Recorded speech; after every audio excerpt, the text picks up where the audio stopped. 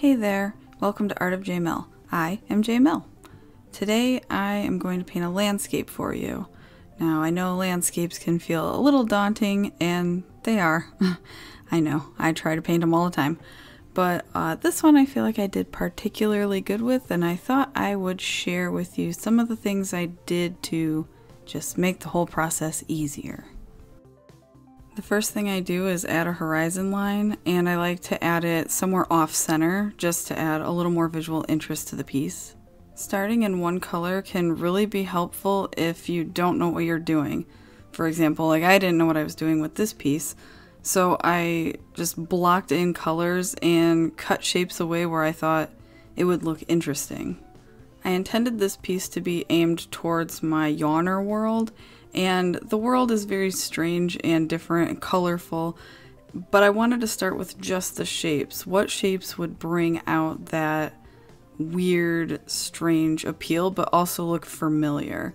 So I aimed for something that looked like it could be rocks or big plants or cactuses, and I feel like these shapes went best with how the yawner looks.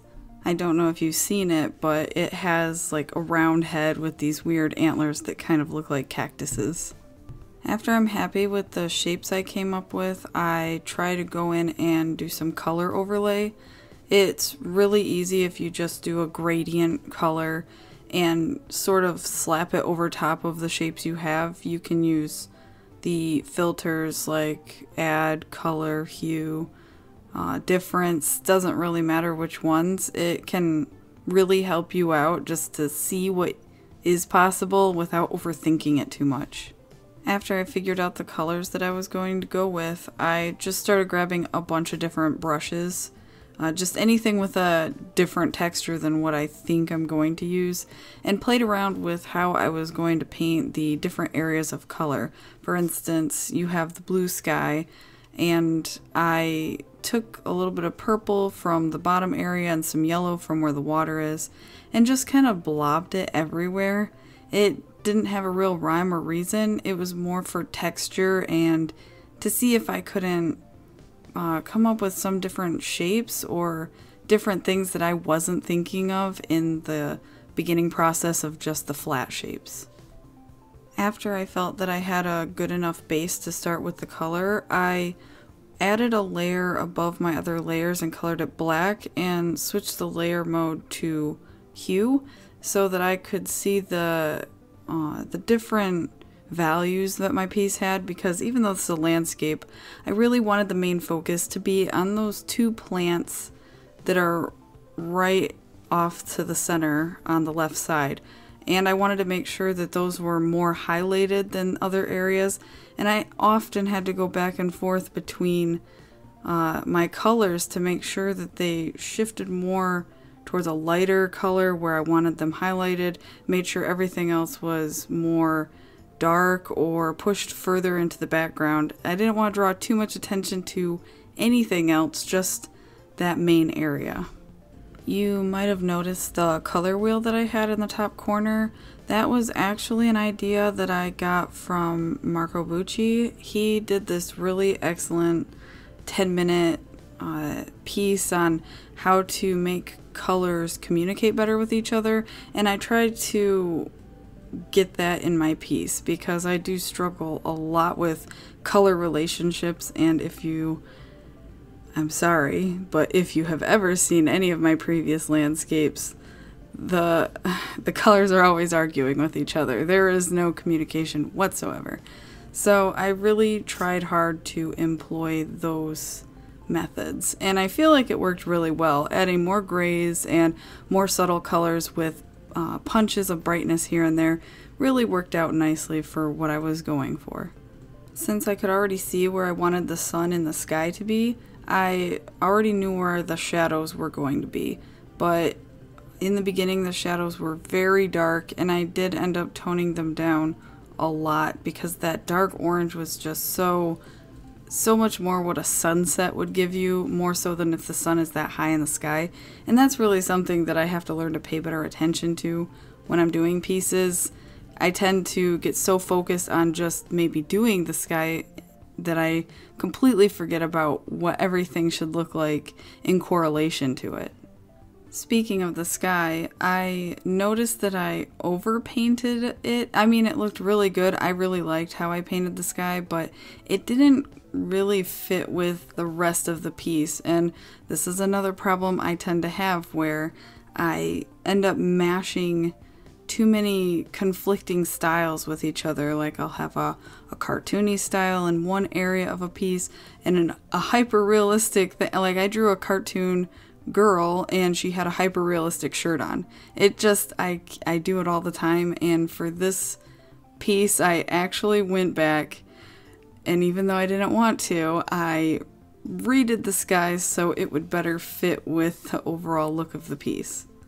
The rim lighting on pieces is probably one of my most favorite parts, but I don't feel like I get it right.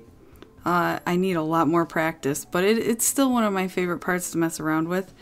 And I was having a lot of trouble trying to get the light to look like it was really punching. It just, it always, it looked dull. It looked like it was falling on some rocks when I, at this point, felt like I was going more for a plant and I just wanted it to have a more transparent look to it, like you were holding a light up to a cactus or a leaf and you could see right through it.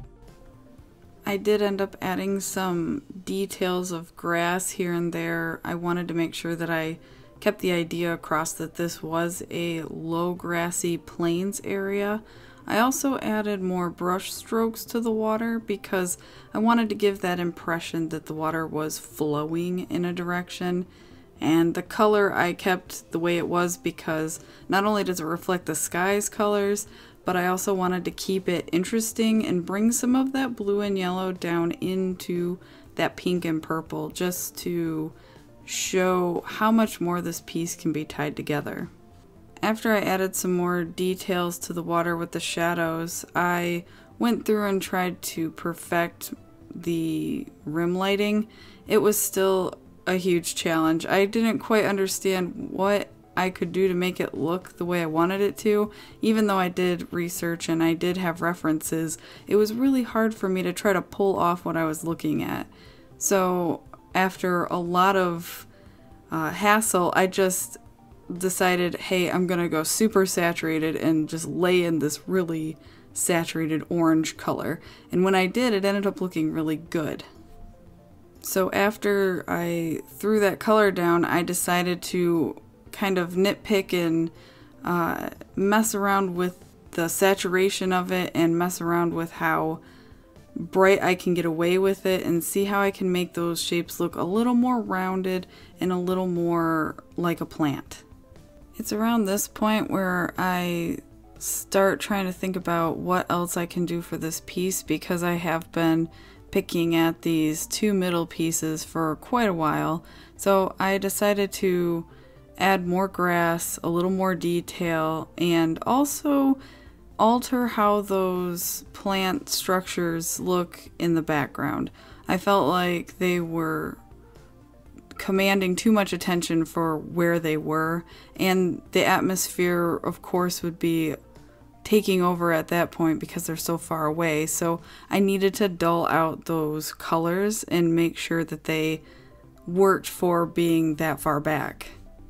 It's around this point I start going back and forth with my uh, value layer, that black and white layer, and I start noticing that the two centerpieces aren't commanding enough attention like I wanted them to.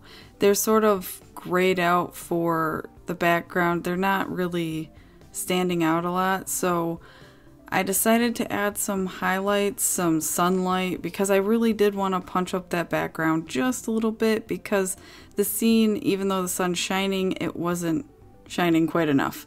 So I did all kinds of things with reflections and light, and I just kind of went crazy with glows and everything. And as you can see, uh, yeah, it turned out pretty nuts. In the end, I overall really liked this piece. I liked the subtle highlights in the water, and I really liked how I finally got that rim lighting looking like it's a plant or a living thing that you can see through. And I mean, the piece, it came together really well. Probably one of my best landscapes. Not the last one, but definitely one of my best ones. Did you see anywhere where I could have improved? If you did, feel free to leave a comment down below telling me what I could have done to make this piece just a little bit better. If you liked the video, feel free to leave a like, and if you didn't, leave a dislike and tell me why. Thank you so much for watching, and remember, we got this.